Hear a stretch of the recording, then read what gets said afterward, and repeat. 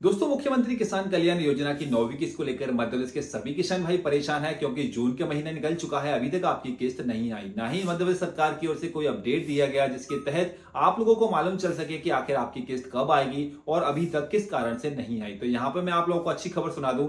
मध्य प्रदेश सरकार की ओर से आदेश दिए जा चुके हैं, जिसके अंतर्गत सभी पटवारियों की ओर से अपने कार्य भी चालू कर दिए हैं सत्यापन के लिए। जितने भी आप लोगों के गाँव, वार्ड, शहरों के पटवारी हैं, उन्होंने किसान कल्याण योजना के लाभार्थियों का सत्यापन शुरू कर दिया है। जल्द ही इसकी रिपोर्ट अगले आने वाले सत्र, यानी कि एक तारीख से आप लोगों का जो बजट सत्र शुरू हो रहा है, उसके तहत यहाँ पे ये रिपोर्ट पेश की जाएगी, जिसमें किसान कल्याण योजना में पहली किस्त के लिए कितना पैसे का निर्धारण होगा, उस पर यहाँ पे चर्चा की जाएगी। जैसे कि आपको पता होगा, मध्य प्रदेश में एक जुलाई से लेकर उन्नीस जुलाई तक पूरी साल का बजट सत्र पेश होने वाला है, जिसके अंतर्गत सभी मदों में कितना कितना खर्च होगा, उस चीज़ का ब्यौरा यहाँ पे देखा जाएगा, जिसके अंतर्गत किसान कल्याण योजना भी शामिल है। तो आप लोगों की तीनों किस्त का अपडेट आपको उस बजट सत्र से मैं आपको दे ही दूँगा।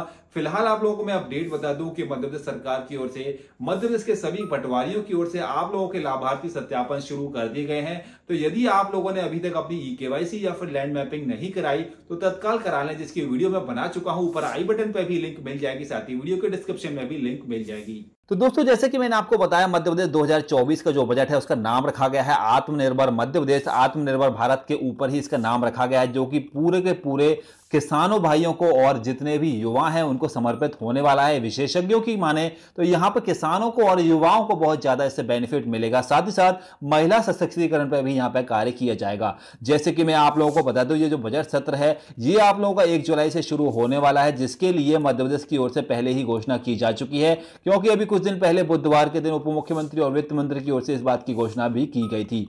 एक्सपर्ट की अगर माने तो बजट दो हज़ार जो होगा, वो आत्मनिर्भर मध्य प्रदेश के तहत प्रशासनिक अकादमी भोपाल में आयोजित किया जाएगा। इसमें एक संवाद कार्यक्रम भी शामिल होगा।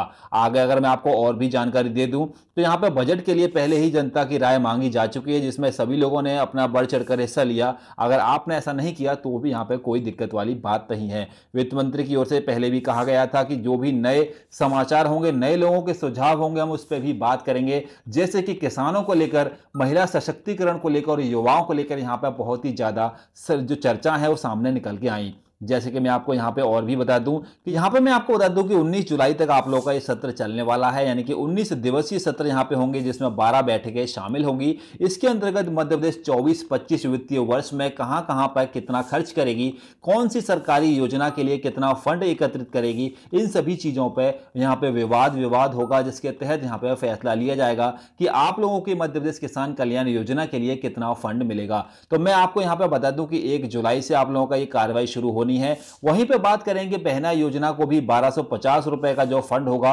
वो यहाँ पे अलॉट होगा और पाँच जुलाई को उनके खाते में बारह रुपए भी डाले जाएँगे। तो संभावना है कि पाँच जुलाई से पहले ही मुख्यमंत्री किसान कल्याण योजना के लिए भी जो फंड होगा, वो यहाँ पे स्वीकृत हो जाएगा। यानी कि आने वाले 20 जुलाई से पहले पहले ही, यानी कि बजट सत्र समाप्त होने से पहले ही जितने भी किसान भाई हैं, उनके अकाउंट में दो हज़ार रुपए की राशि जमा हो जाएगी। इसी बात पर चैनल को सब्सक्राइब ज़रूर कर लें ताकि मुख्यमंत्री किसान कल्याण कल्याण योजना के पल पल के अपडेट्स में आप तक पहुंचाता रहूँ। साथ ही आप लोग वीडियो को लाइक ज़रूर करें और जितना हो सके अपने दोस्तों के साथ फेसबुक व्हाट्सएप पे शेयर ज़रूर कर दें ताकि सभी लोगों को यह खबर मिल सके और वो लोग परेशान ना हो कि आखिर किस्त कब तक आएगी।